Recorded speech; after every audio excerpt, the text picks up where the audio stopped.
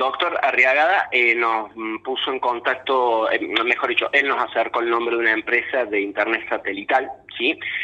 que en costos y en competitividad de mercado es muy buena, sí, es muy buena. Es eh, en cuestión de calidad se promete que compite directamente con, con la de Elon Musk eh, y que tiene llegada acá y alcance. Entonces nosotros nos pusimos en contacto con la con la empresa, la empresa nos envió los presupuestos y también al doctor Arriaga el día viernes de la semana pasada le enviamos una nota ¿sí? Eh, justamente manifestando que ya le hemos pasado el presupuesto a la Secretaría de Finanzas y que nos habían pedido siete días hábiles ¿sí? para darnos la respuesta y, bueno, y, poder realizarse la justamente la, instalación de Internet, que es nuestro... Eh, eh, efectivamente, Nicolás, si bien entendemos que la municipalidad no tiene, digamos, ningún... no se encuentra obligado legalmente, vuelvo lo mismo, nuestro interés es avanzar y el avance hoy en día está directamente relacionado con el Internet, estamos hablando de una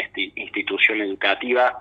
Nosotros, sin ir más lejos, el día de ayer firmamos convenio con la provincia en virtud a la coordinación local de educación, que es para que podamos trabajar de manera justamente coordinada las escuelas, eh, los, el sector privado y también la municipalidad en temas de educación firmamos ese convenio y no podemos tener escuelas sin internet. Lo sabemos porque es decir, queremos avanzar por un lado, pero el avance tiene que ser coherente no solamente en papel a través de una firma, sino desde nuestro lado se va a realizar la gestión de la colocación de internet de, la escuela. De hecho, se lo, se lo manifestamos al doctor Arriaga a través de una nota que, que se que tuvo el recibido la, la nota la semana pasada de que necesitamos solamente siete días hábiles nos queda comprometida esta semana en realidad por el tema de que por la Semana Santa, pero el día miércoles de la semana próxima nosotros ya vamos a tener la respuesta tanto de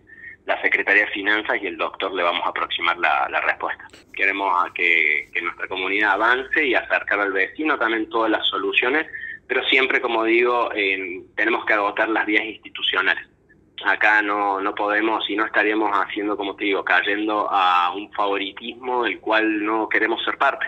Queremos que todos tengan, eh, tengan todas las escuelas de la misma oportunidad de, avanzar y de crecimiento. Por eso eh, firmamos este convenio, el cual estamos muy contentos de trabajar. Ya hemos tenido una primera reunión con las directores, las directoras y el director de las instituciones aquí de nuestra localidad para trabajar de manera muy coordinada y poder impulsar todos los proyectos que los establecimientos han tenido durante tantos años y no se ha podido realizar por una cuestión burocrática.